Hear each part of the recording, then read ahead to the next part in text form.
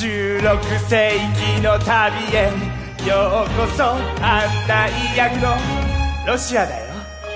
ここからは君が望んでなかったとしてもみんなを16世紀へいざなうよ。イタリアこっちだぞ。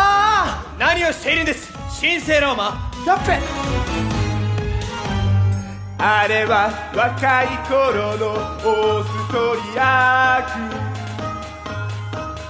区若々しい声に注目さ。見りゃわかるだろ？イタリアを俺んちに入れ込むんだよ。そして俺は今神聖ローマだぞ。見りゃわかるだろ？いろんな国招き寄せて本当見境がないな。神聖ローマってのは。見境がないだと？お前に言われたくない。あれは女の子に見境のない時の若いフランス君。待て。年を取った時とはニュアンスを変えた表現してくる。